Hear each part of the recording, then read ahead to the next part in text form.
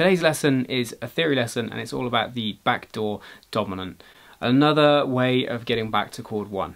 Now a backdoor dominant in the key of C would be B flat 7 to C and it's a non-diatonic progression meaning that B flat 7 is out of key. If we harmonise the major scale we get a B minor 7 flat 5 not a B flat 7 so it's out of key which is why when it comes in it's, it sounds a bit unexpected but it's a good way to get back to 1. The backdoor dominant is sometimes called the flat 7 cadence.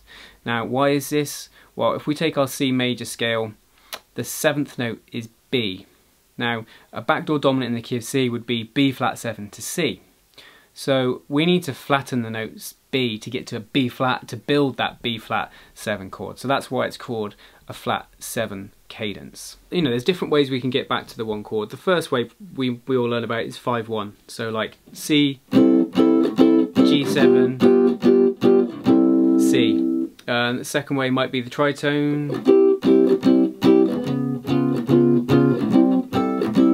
probably more likely in a 251 context than that, but that's the next one. But I think the next one you want to know about is the backdoor dominant, and it's C, B flat 7, back to C. And it can come in other forms, which we get onto today. So I'll go through how it works, why it works, and where you're likely to see it and tunes that it occurs in. This will help you spot it and go, ah, okay, that's the backdoor dominant. You'll know how to treat it, you understand what's happening then, rather than seeing that part of the song as like, oh, it goes a bit weird there. The first way it appears is on its own, and by that means just just just that chord on its own. So like I did a minute ago, so C6 here, B flat 7, that's our backdoor dominant to C. Notice that that backdoor dominant, it's a tone beneath its target chord. So B flat is a tone beneath C, so that's the backdoor dominant of C.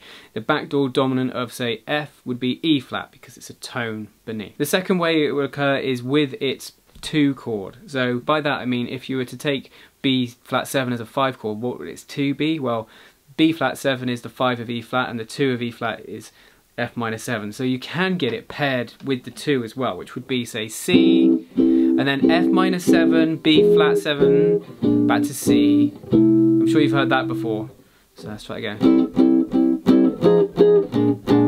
That's a nice movement.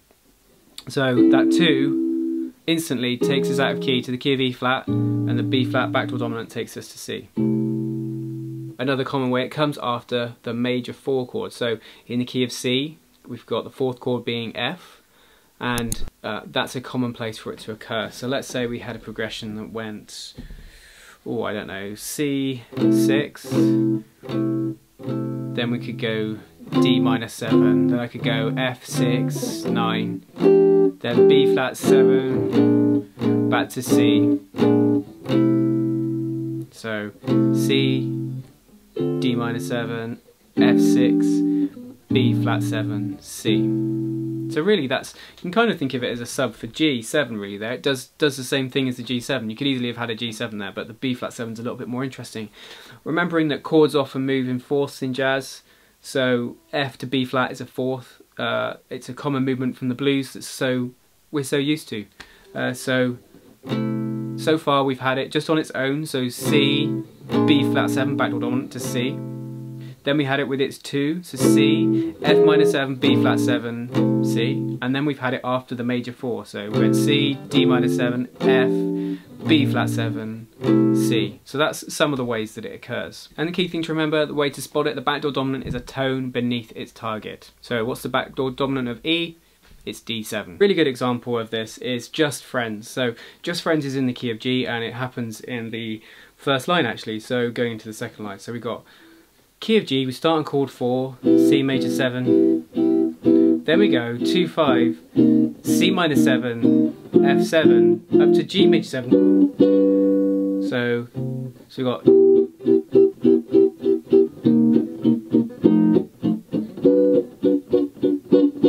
so that, you know, we start on chord 4, then we make it minor, and then we use F7, which is our backdoor dominant, to go up a tone to G major 7. In that Just Friends example, it had the two of the backdoor dominant with it, the C minor 7. Another example, Misty, it's in bars 4 to 5, so we've got chord 1, E flat major.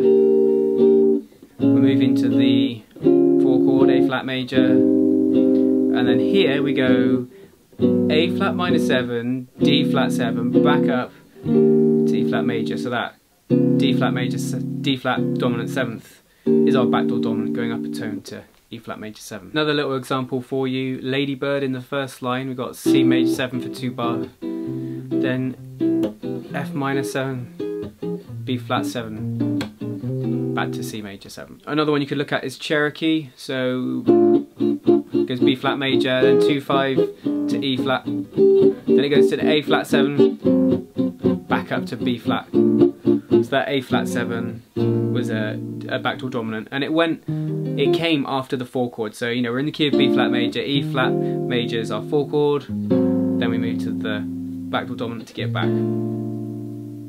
Um, another place it may be used is where you sometimes get the minor 4 so take the progression from There Will Never Be Another You. E flat major 7 D minor 7 flat 5 G7 C minor B flat minor 7, E flat 7. Then we go often A flat major, A flat minor there, back to E flat or E flat major 7. So uh, it's possible that some people would play that instead of going A flat to A flat minor, they would go A flat to D flat 7 or D flat 9 back to E flat, so a backdoor dominant instead of the minor 4 like this. So you do your everything is normal. C minor, we go 2, 5 and A flat. We hit this A flat, then go to D flat, and then back up to E flat. So that's another place it can be used. So you may sometimes see people there using D flat 7 to get back to E flat rather than going from A flat to A flat minor. So in substitute of the the minor 4. So we've gone through we've gone through the ways it can happen and there's just a couple examples from some standards, but why does it work? Well, it's to do with how the notes move into the one chord. So let's take, let's take a backdoor dominant in the key of C. So we're going to go C, major 7, we go B flat 7 to C. And it's about where those notes go from that B flat 7, that backdoor dominant. So taking that chord, let's have a look at the notes. So a B flat can go up, you know, the third of the B flat 7 chord, the note D, can go up a tone to an E, the major third of E the fifth of the backdoor dominant, which is an F, can go up a tone to G or down a semitone to E. And the A flat, the, the seventh of the B flat 7 chord, could go down a semitone to G. So they're all very close harmonically. Um, obviously, because you know on the fretboard it's very visual. They, everything moves up two frets, although the harmony changes a little bit because you've got a major seventh instead of a flat seven. And, and some could view the B, you know, the back door as a, a substitution for five. It, it's really functioning in that way. It's doing the same job. And you could look at it in terms of, well, what, you know, if five is G7 for C, what are the intervals of a B flat seven chord over a G7? Well, they're pretty interesting. Let's look at the intervals of a B flat seven over a G7, and you kind of got some tasty notes there. B flat is um, a sharp nine, or a minor third. Uh, D is a fifth. F is a flat 7 and A flat is a flat 9. So that's some pretty tasty notes of a G7 over the top. So I think that's another reason it works because there's two shared notes in D and F, the 5th and 7th, and then we've got the, the flat 9 and the, the sharp 9, so two fruity sounding notes that you could play over a G7 anyway. And another common thing to be aware of um, when playing backdoor dominants. It's quite common when these chords are played to make them a sharp 11 or a, a dominant flat 5 if, if, you want to call it that. So this chord, and I'll put the shaper on the screen, so this is B flat, you know, I've got root, 7, third, and instead of a fifth I've got a, a flat 5, so an E instead of an F, which um, sounds pretty cool. Now the reason this works well, if I go C major 7, B flat 7, flat 5, is because E is the flat 5 of B flat, that note there, and that's the major third of the C, so there's kind of a link back to the original key. You hear that there? So that's quite quite a nice thing, nice thing to do. We've looked at a couple of examples and, and where to take it from here for you in terms of how this information can be useful for you? Well, you need to spot it in charts. So look at standards and try to look for dominant seventh chords, a tone beneath the major chord that comes after. So you see F major 7 or F major, F major 6, and it's got an E flat 7 before it, that would be a backdoor dominant. Same if we had G major 7, F7 before it, that's a backdoor dominant. And sometimes you got the 2 with it, so if we did a, a 2 and then the backdoor in the key of G, we'd go you know, it could be what F7 would be the backdoor dominant, and the two of F7 is C minor, so it goes C minor 7, F7, G7. Sometimes, sorry, G major 7. Sometimes it won't have the two, and it'll just be the, the backdoor dominant on its own. When it comes to playing over them, you need to get used to how they resolve into each other. Now, if you go B flat 7 to C, C uh, major 7, play them in order B flat, D, F, A flat, we're a semitone above G, which is the fifth of C.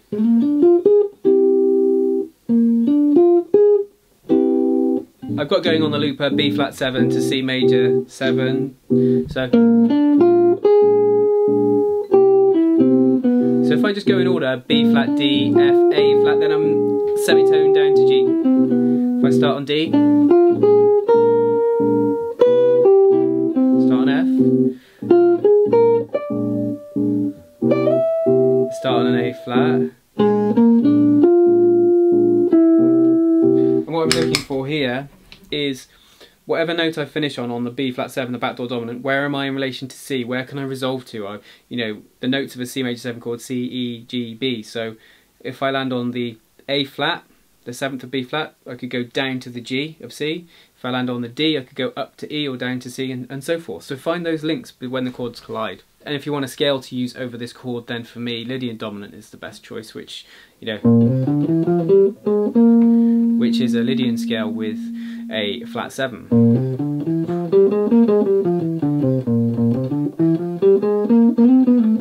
That's me going into C Ionian. Now, why is this a good choice? Well, that note, which is the uh, sharp of sharp 4 or flat 5, is an E, which is the major third of C. So you play the dominant sound, but that, that really Lydian sounding note gives a nice connection to C major. So even though B flat 7 is out of key, that note keeps us sort of in key because it's the major third.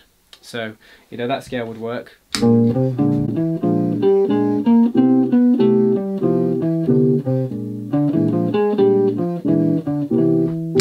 When I uh, do these YouTube lessons, I always try to prepare best as I can by making some notes. And I made a list of a few standards you could check out. Now, one word of warning. Do you remember earlier I said how you might find, like in Another You, where someone uses the minor 4 instead of the backdoor dominant. You may find when you look at someone's chart that they put either in. So, you know, you might look and go, there isn't a backdoor dominant, ah, but it's a minor 4 instead. Now, here's some just to check out. I've mentioned a few of these. So, uh, Stella by Starlight, I think there's two in there. Just Friends, we've already talked about. Misty, uh, Lady Bird, we've already talked about. Groovin' High, great tune. How Deep is the Ocean? Uh, Somewhere Over the Rainbow, some chord voicings use it. Um, Donna Lee, My Romance, There Will Never Be Another You. So a few there to check out. There's there's tons of examples um, that you could go for, but uh, you know, just being aware that it exists and knowing it's something you can spot out for as a way to get to a major chord. And you know, when you're learning jazz, it's all about being able to look at a chart for the first time and roadmap it, know where it's going, why it's going there, relate it to other songs. You know, if you learn the backdoor dominant via a song like Just Friends, then maybe it will help you in the future when you come come across it again. In the same way that Just Friends is a great example of a song which doesn't start on the one chord, it starts on the four chord. Without the theory behind themselves, would look at Just Friends and let's say they didn't know what key signatures were, they'd go, oh, it starts on C, so it's in the key of C. Well, no, C is the fourth chord, and you know we go to that one chord in the next line, bar five, I think. Anyway. Thank you for tuning in. Any questions, any comments, suggestions for future videos, then leave them below. Uh, subscribe for more lessons every Wednesday and Saturday. And be sure to check out my website, jazzguitarwithandy.com, where I've got some free resources on. You can also find out about video lessons with myself and also a bit about me. And if you're interested in guitars and gear and stuff like that, I've got uh, sort of a, a gear page on there. Anyway, see you next time. Take care.